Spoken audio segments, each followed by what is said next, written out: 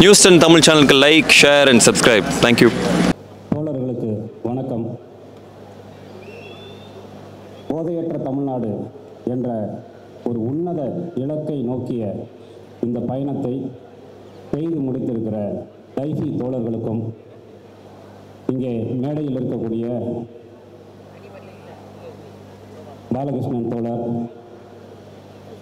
Dicey தமிழக தமிழக தலைவர் கார்த்திக் உள்ளிட்ட தோழர்கள் ரஹீம் தோழர் இங்கு கூடியிருக்கிற அத்தனை தோழர்களுக்கும் வணக்கம். தோழர்களே இந்த போதையற்ற தமிழ்நாடு மூமெண்ட் தொடங்கிய அந்த கணத்திலிருந்து எனக்கு தெரியும். அந்த தொடங்கிய கணத்திலிருந்து இன்று வரைக்குமான நிறைய இதில் நடந்த விஷயங்களை தோழர் கார்த்தியும் மற்ற தோழர்களும் தொடர்ந்து என்னிடம் பகிர்ந்து கொண்டிருக்கிறார்கள். ஸோ இந்த பயணத்தில் எவ்வளவு சிரமங்களை தாண்டி எவ்வளவு தடைகளை தாண்டி இந்த மாபெரும் ஒரு நிகழ்வை அவர்கள் முன்னெடுத்தார்கள் அப்படிங்கிறது தெரியும். இப்படியான எந்த எதிர்பார்ப்புகளும் இல்லாத மிகப்பெரிய ஒரு பயணத்தை ஒரு இலக்கை ஒரு கனவை செய்து முடிக்கக்கூடிய தோழர்கள் இடதுசாரி தோழர்களாக மட்டும்தான் இருக்க முடியும் என்பது என்னுடைய ஆழமான நம்பிக்கை. தோழர்களே இந்த போதையற்ற தமிழ்நாடு என்கின்ற இந்த இலக்கை இரண்டு வகையாக பிரிக்கலாம். ஒன்று திருமாவளர் தோழர் பேசியது போல சட்டம் போட்டு தடுக்கிற கூட்டம் அப்படிங்கிறது ஒன்று. ஏன்னா ரொம்ப முக்கியமான விஷயம் என்னன்னா சட்டம் போட்டு த தடுக்கிற கூட்டம் தடுத்து கொண்டே இருக்கும் திட்டம் போட்டு திருடுற கூட்டம் திருடு கொண்டே இருக்கும் அப்படிங்கிறது. திருடுற கூட்டமும் சட்டம் போடுற கூட்டம் ஒண்ணுங்கிறது தான் மிகப்பெரிய பிரச்சனையே.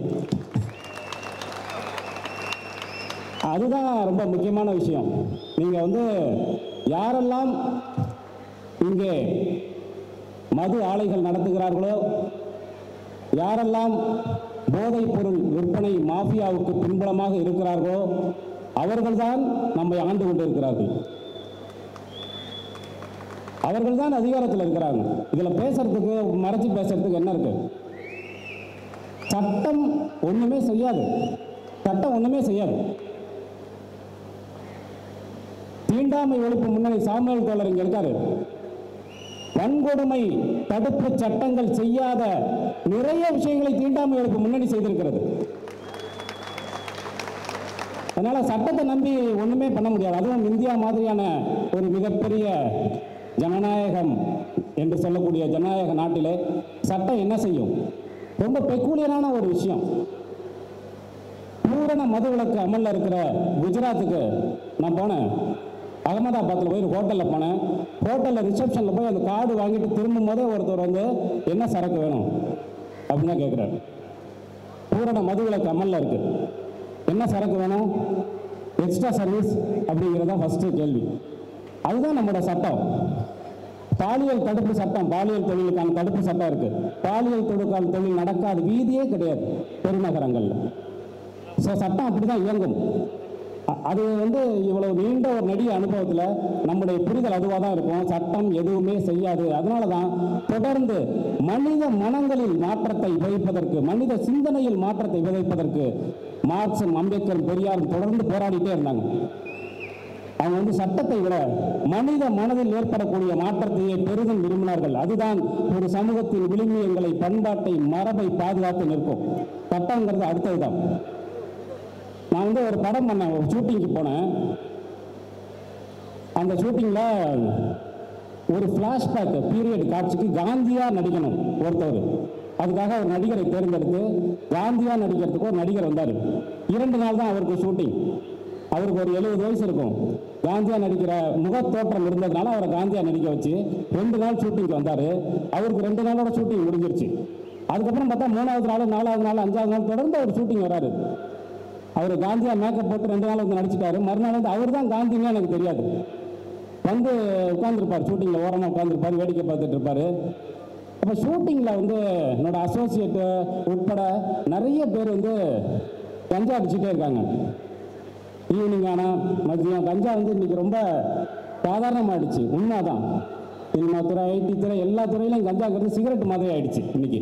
அவ்வளவு எளிமையான புழக்கம் இருக்கு. ஏன்னா இந்தியாவின் ஆன்மீக நகரம் என்று சொல்லக்கூடிய மரியாதைக்குரிய நமது பாரத பிரதமரின் தொகுதி காசி தான் கஞ்சாவின் தலைநகரம். காசியில் ரொம்ப எளிமையாக கிடைக்கிற ஒரே ஒரு விஷயம் கஞ்சா தான். தட்டெல்லாம் ஒன்றுமே கிடையாது. நீங்கள் எங்கே போனாலும் உங்களுக்கு தோசை இட்லி மாதிரி கஞ்சா கிடைக்கும். அதனால் வந்து ஏன்னா பிரதமர் எப்போவாவது தானே அங்கே போறாரு. அவருக்கு தெரியாது. ஸோ இப்போ அந்த ஷூட்டிங் வந்து நடந்துட்டு இருக்கும்போது கஞ்சா வந்து ரொம்ப ஈஸியாக புழக்கத்தில் இருந்து அவன் கஞ்சா குடிச்சிருந்தா டேய் என்னடா அது யாரா கஞ்சா கொண்டு வந்து இங்கே கொடுக்குறா? அப்படின்னா இப்பெல்லாம் தெரியும்? அந்த காந்தி தான். அந்த காந்தியா நடிச்சார் இல்லையா? அவர் தான் சப்ளையர் அவர் கூப்பிட்ட ஐயோ நீ போட்ட வேஷத்துக்காவது ஒரு மரியாதை வேணாமையா அப்படின்னு அவர் திட்டி நான் அனுப்பினேன். நாலு நாள் கழிச்சு.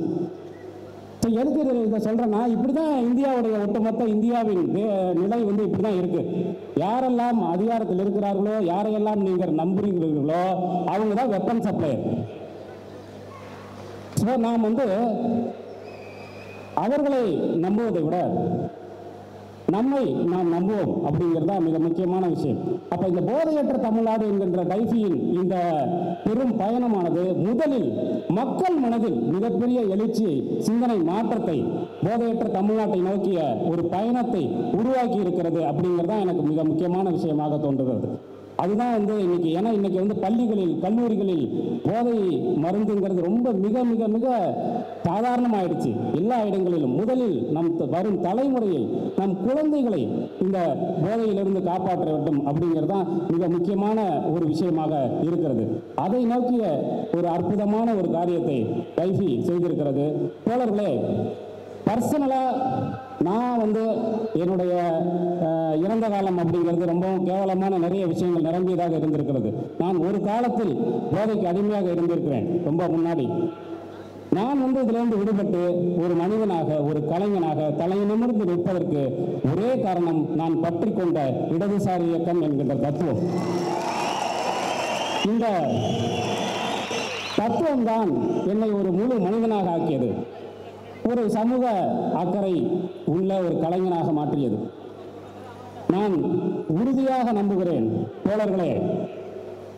போதை சாதி ஊழல் என்ற அனைத்து புலிகளிலிருந்தும் நம்மை விடுவிக்கக்கூடிய ஒரே மருந்து இடதுசாரி தத்துவம்தான் இடதுசாரி இயக்கம்தான் அப்படிங்கிறதை நான் மிக தீவிரமாக நம்புகிறேன். தோழர்களே நாளைய இளைஞர்கள் எதை நோக்கி செல்ல வேண்டும் என்கின்ற மிக தீவிரமான ஒரு நிகழ்வை தொடர்ந்து கைஃபி முன்னெடுத்துக் கொண்டிருக்கிறது. இதன் அத்தனை நான் தொடர்ந்து சொல்லுவேன். ஒரு இடதுசாரி இயக்க தோழர் ஒரு ஜனநாயக வாலிபர் சங்க தோழர் மற்ற இயக்கங்களின் மற்ற கட்சிகளின் நூறு தோழர்களுக்கு சமமானவர் அப்படின்னு நான் சொல்லுவேன். ஏன்னா இவங்க வந்து முழுக்க முழுக்க முழுக்க இந்த இயக்கமும் இந்த தத்துவமும் இவர்களுக்கு கற்பித்திருக்கிற அடிப்படை ஒழுக்கம் என்பது நீ குடிக்காம இருந்தால் தான் ஒழுக்கம் அப்படிங்கிறது கிடையாது. நான் அதனால தான் திரும்ப திரும்ப சொல்றேன். மக்கள் மனதில் விழிப்பு இன்றைக்கு வந்து அது சாத்தியமில்லாத ஒன்றாக மாறிக்கொண்டே இருக்கிறது. நம்ம நார்மலாக இவங்க கடந்து போய் கொண்டிருக்கும் போது பேருந்துகளில் வண்டிகளில் நடந்து போயிட்டு இருக்கும் பார்க்கும்போது பல்வேறு இடங்களில் கண்ணீர் அஞ்சலி போஸ்டர்கள் ஒட்டப்பட்டிருக்கின்றன. முன்பு விட மிக அதிகமான கண்ணீர் அஞ்சலி போஸ்டர்கள். அந்த கண்ணீர் அஞ்சலி போஸ்டர்களை பார்க்கும்போது குறைந்த வயது உடையவர்கள் தான் பர்சன்டேஜ் வைஸ் அதிகமாக இருக்காங்க. அவங்களை அவங்க எப்படி செத்தாங்கன்னு போய் பார்த்துட்டா பெரும்பாலும் மது போதை இது மட்டுமே தான் காரணமாக இருக்கிறது.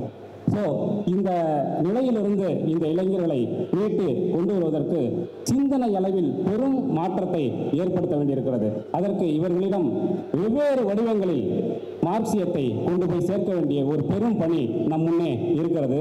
இன்றைக்கு எளிய மனிதர்களில் ஆரம்பித்து மேலே வரைக்கும் மிகப்பெரிய ஒரு பிரச்சாரத்தை நிறைய கல கலைஞர்களை ஒருங்கிணைத்து நிறைய அரசியல் தோழர்களை ஒருங்கிணைத்து இவ்வளவு பெரிய ஒரு மூமெண்ட்டை செய்து முடித்திருக்கிறார்கள். டைபி தோழர்கள் அவர்களுக்கு என்னுடைய வாழ்த்துக்கள். இதற்கு பின்பு இருக்கக்கூடிய நிதி நெருக்கடி மற்ற நெருக்கடிகள் அனைத்தையும் நான் அறிவேன். அதை எல்லாவற்றையும் தாண்டி இப்படியான ஒரு பெரும் விஷயத்தை சாத்தியமாக்கி இருப்பதற்கு டைபி தோழர்களுக்கு நன்றிகள் பெரும் வாழ்த்துக்கள். ஏனென்றால் நாம் எப்போதும் அசாத்தியங்களை கனவு காண்பவர்கள் அசாத்தியங்களை சாத்தியங்களாக்குபவர்கள். ஆகவேதான் நாம் தோழர்கள் லால் சலாம் நன்றி. நியூஸ்டன் தமிழ் சேனலுக்கு லைக் பண்ணுங்கள் சப்ஸ்கிரைப் பண்ணுங்கள் ஷேர் பண்ணுங்கள் பெல் ஐக்கானை டங்குன்னு ப்ரெஸ் பண்ணுங்கள்